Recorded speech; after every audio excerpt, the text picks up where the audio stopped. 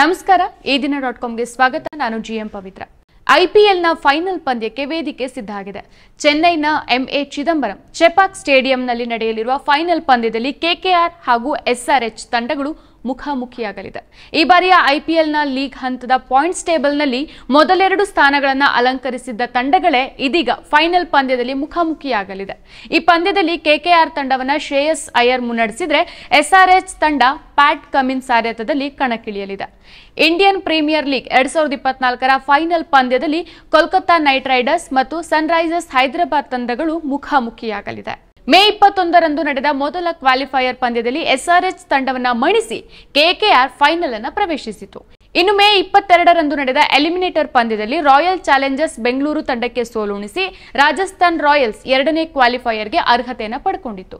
ಅದರಂತೆ ಮೇ ಇಪ್ಪತ್ನಾಲ್ಕಕ್ಕೆ ನಡೆದ ಎರಡನೇ ಕ್ವಾಲಿಫೈಯರ್ ಪಂದ್ಯದಲ್ಲಿ ರಾಜಸ್ಥಾನ್ ರಾಯಲ್ಸ್ ತಂಡವನ್ನು ಮಣಿಸಿ ಸನ್ರೈಸರ್ಸ್ ಹೈದರಾಬಾದ್ ತಂಡ ಫೈನಲ್ಗೆ ಪ್ರವೇಶಿಸಿತು.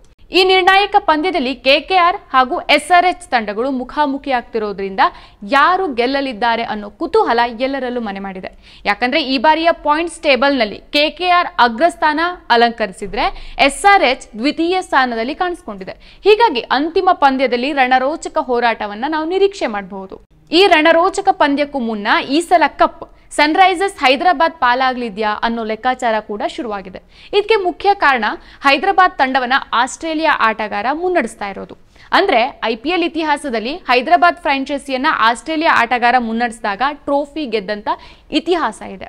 ಎರಡ್ ಸಾವಿರದ ಒಂಬತ್ತರಲ್ಲಿ ಡೆಕ್ಕನ್ ಚಾರ್ಜರ್ಸ್ ಹೈದರಾಬಾದ್, ಅಂದ್ರೆ ಈಗಿನ ಸನ್ರೈಸರ್ಸ್ ಹೈದರಾಬಾದ್ ತಂಡವನ್ನ ಆಸ್ಟ್ರೇಲಿಯಾದ wicket keeper, batter Adam Gilchrist ಅವರು ನಡೆಸಿದ್ರು. ಆ ಸೀಸನ್ನಲ್ಲಿ ಆರ್ ಸಿ ಬಿ ವಿರುದ್ಧ ಆರು ರನ್ಗಳ ರೋಚಕ ಜಯ ಸಾಧಿಸಿ ಡೆಕ್ಕನ್ ಚಾರ್ಜರ್ಸ್ ಚಾಂಪಿಯನ್ ಪಟ್ಟವನ್ನು ಅಲಂಕರಿಸಿತ್ತು. ಇದಾದ ಬಳಿಕ ಹೈದರಾಬಾದ್ ಫ್ರಾಂಚೈಸಿ ಫೈನಲ್ ಅನ್ನು ಪ್ರವೇಶಿಸಿದ್ದು ಎರಡ್ ಸಾವಿರದ ಹದಿನಾರರಲ್ಲಿ. ಅಂದು ಎಸ್ಆರ್ಎಚ್ ತಂಡವನ್ನ ಮುನ್ನಡೆಸಿದವರು ಆಸ್ಟ್ರೇಲಿಯಾ ಆಟಗಾರ ಡೇವಿಡ್ ವಾರ್ನರ್.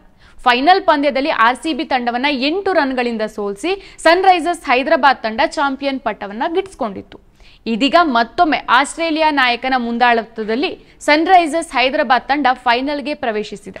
ಈ ಬಾರಿ ಎಸ್ಆರ್ಎಚ್ ತಂಡದ ನಾಯಕನಾಗಿ ಸೈಲೆನ್ಸರ್ ಖ್ಯಾತಿಯ ಪ್ಯಾಟ್ ಕಮಿನ್ಸ್ ಇದ್ದಾರೆ. ಹೀಗಾಗಿ ಆಸ್ಟ್ರೇಲಿಯನ್ ನಾಯಕನ ಸಾರಥ್ಯದಲ್ಲಿ ಈ ಬಾರಿ ಸನ್ರೈಸರ್ಸ್ ಹೈದರಾಬಾದ್ ಕಪ್ ಗೆಲ್ಲಲಿದೆ ಅನ್ನೋ ವಾದಗಳು ಸಹ ಶುರುವಾಗಿದೆ.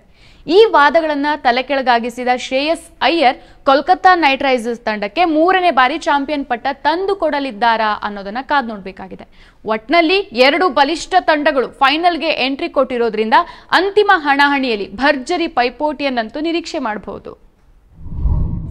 ಮತ್ತಷ್ಟು ವಿಶೇಷ ವಿಡಿಯೋಗಳನ್ನು ನೋಡಲು ಮತ್ತು ಹೊಸ ವಿಡಿಯೋಗಳ ಬಗ್ಗೆ ತಿಳಿಯಲು Ee Dina dot com YouTube channel subscribe ಮಾಡಿ ಮತ್ತು ಬೆಲ್ ಐಕಾನ್ ಕ್ಲಿಕ್ ಮಾಡಿ.